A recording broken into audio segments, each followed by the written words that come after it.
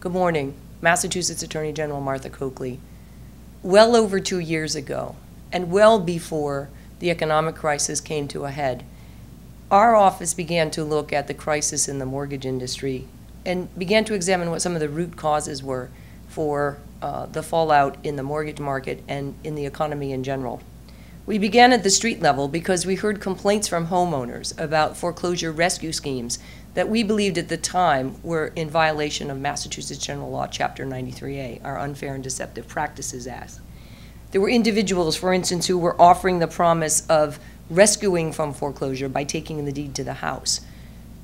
We continued to follow the trail from those foreclosure rescue schemes to the loans themselves and found a pattern and practice which we believed also violated the Unfair and Deceptive Practice Acts in Massachusetts. That is, those companies who made mortgages with little regard to borrowers' financial situation, selling risky loan products which we believed on their face were unfair and deceptive. In short, the loans were destined to fail. However, they always produced a hefty fee for those who were brokering the loans.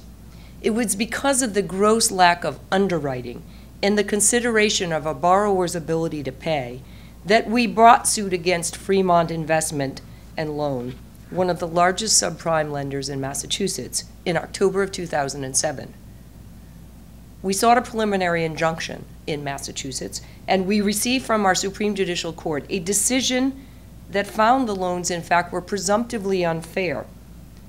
The court upheld that preliminary injunction that prohibited Fremont from foreclosing on any mortgages in Massachusetts until our office had the opportunity to review those loans for fairness and for appropriateness for modification.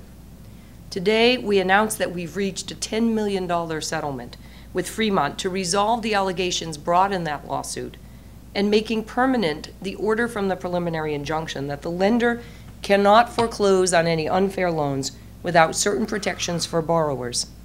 As part of the settlement, Fremont has agreed not to originate any such unfair loans in the Commonwealth in the future.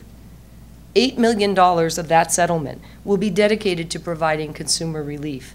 The funds will be used to redress the negative impact of foreclosures and the predatory lending practices in the Commonwealth and will provide relief to Massachusetts borrowers. The settlement also includes a million dollar civil penalty and a million dollars in costs for the investigation and litigation of the suit, including attorney's fees to the Commonwealth.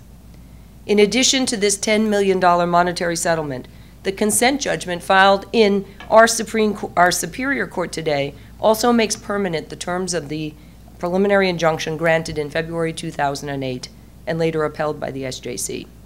In issuing that order, the court found that Fremont's loans were presumptively unfair because of their very terms.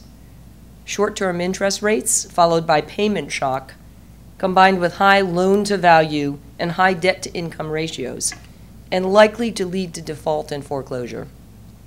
For such loans, the court established a notice and objection process before Fremont could proceed uh, on any foreclosure that also included Fremont's assignees. This process is now in place permanently as a result of today's settlement and will provide much needed protection for those borrowers. As a direct result of our work on the Fremont case, as well as our work on a similar pending case against Option 1, an H&R Block subsidiary, we continue to look at and follow the trail of Wall Street investment banks who provided capital to subprime lenders like Fremont. These institutions bundled bad loans and sold them as mortgage backed securities, essentially facilitating subprime mortgage loans.